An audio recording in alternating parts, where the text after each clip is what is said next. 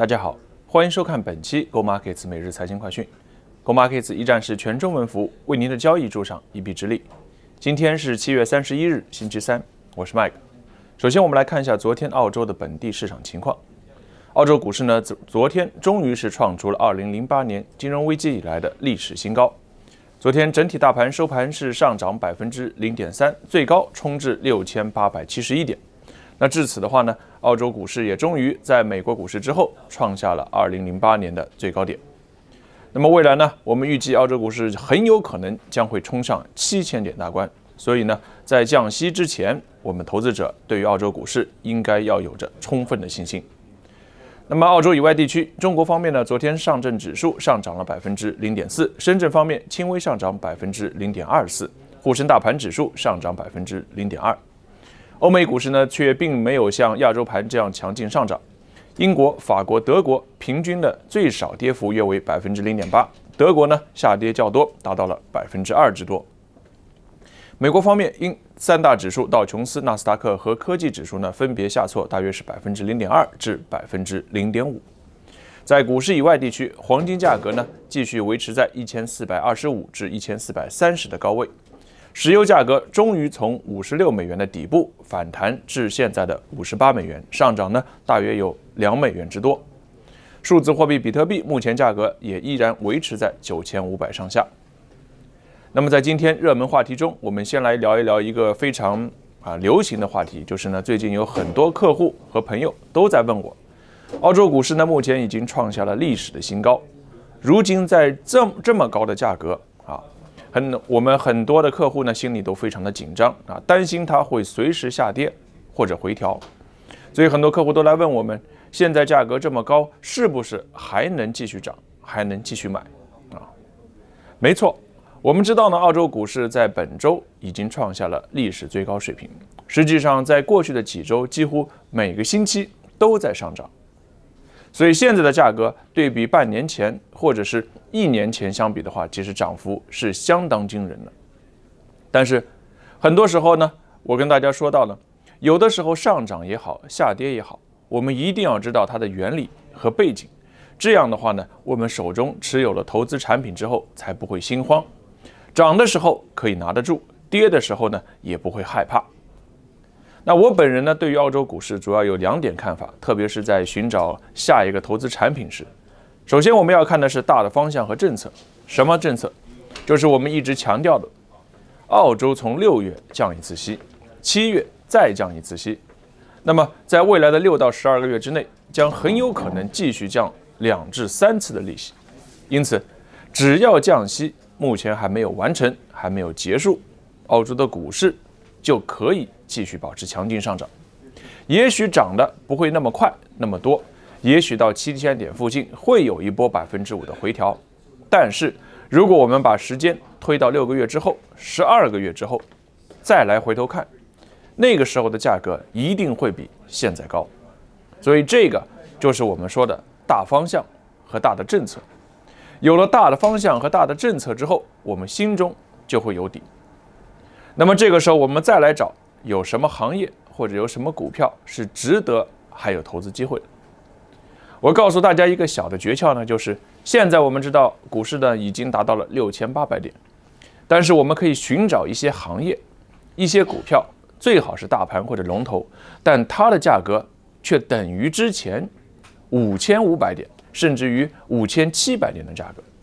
也就是说，现在的股价实际上是等于。过去半年甚至于一年之前的价格，这一类的股票，未来的价上涨空间将会比现在已经冲至历史最高的那些股票要好得多啊！所以呢，在昨天也有朋友问我，这个澳洲电信现在还能不能买？我的意见是呢，现在的价格对比半年前上涨太多。作为大盘股，涨了百分之四十之后，在后面的半年它不可能再涨百分之四十，因此。例如像澳洲电信这样已经上涨很多的股票，其实我们应该考虑呢，暂时不要再去买。所以，那么现在有什么板块、有什么行业的价格是处在之前六千点甚至于五千五百点的价格？其实有一个最大的板块就是金融和银行板块。不妨我们看一下他们的价格，比如说四大银行，除了 CBA 澳这个联邦银行价格是八十澳元以上，其他的三家银行价格都在三十澳元以下。那么三十澳元的价格其实是二零一五年的价格啊，所以说这三家银行其实在过去的三年非但是没有上涨，反而股价是下跌的。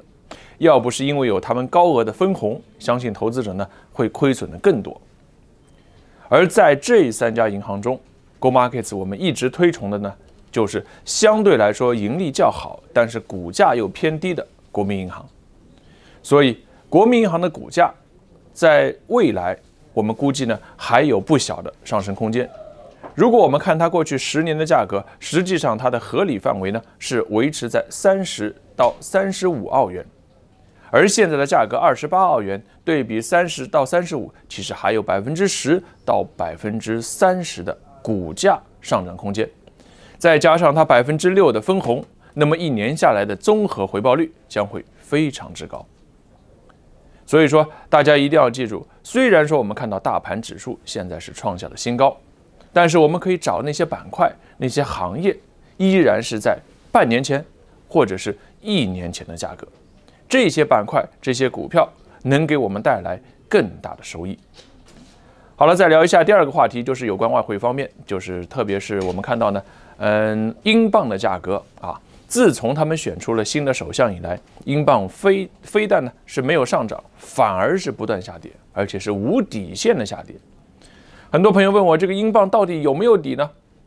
我个人的意见呢，很有可能英镑还会跌。为什么选了新的首相之后，英镑还会跌呢？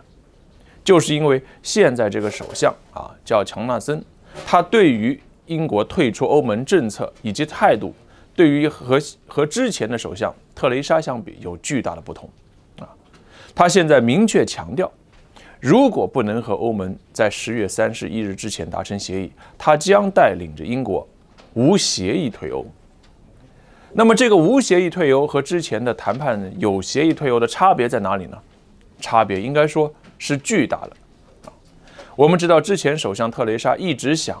啊和欧盟呢就一些比如说贸易、关税和一些重要领域啊，即便是想英国退出欧盟之后依然享受着之前的条件和政策优惠，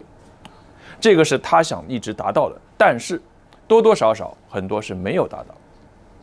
但是就算是没有达到，那也要比什么都没有要强吧。一旦是无协议退欧，那将会意味着英国将会作为一个全新的国家第三者，和欧盟就关税和贸易重新按照欧盟以外的国家来做条件，这个差别是非常大的啊。我们投资我们应该清楚的知道，之前美国和中国的关税的争议。相差百分之五到百分之十就产生了巨大的影响啊，所以说能不能英国就欧盟达成以前啊他们的协议和现在的无协议退欧，对于英国的经济来说有着非常大的差别。那么这也是投资者现在一直在看空英镑的主要原因，就是担心英国真的是无条件退欧之后，对于英国的伤害会非常大。但是话又说回来了，我始终觉得呢。即便是英国脱离了欧盟，就算是最差情况无协议退欧，但是英国的经济也不至于到金融危机，或者说它搞到呢经济崩溃。所以说，英镑现在价格就算跌得再多，对于我们投资者来说，很有可能将会是以后的一个投资机会啊。比如说，现在今年从今年年头到现在，英镑已经跌了百分之十五了，那么它一旦反弹，它反弹的力度。和空间也会非常厉害啊，